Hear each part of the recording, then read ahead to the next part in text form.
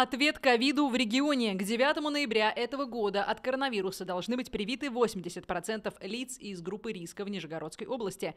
В это количество также войдут и переболевшие ковидом за последние полгода. Это следует из постановления, принятого главным государственным санитарным врачом по Нижегородской области Натальей Кучеренко. Согласно документу, опубликованному Роспотребнадзором, теперь в категорию граждан, подлежащих обязательной вакцинации, входят совершеннолетние студенты, которые проходят практику, и работники сферы сферы промышленности.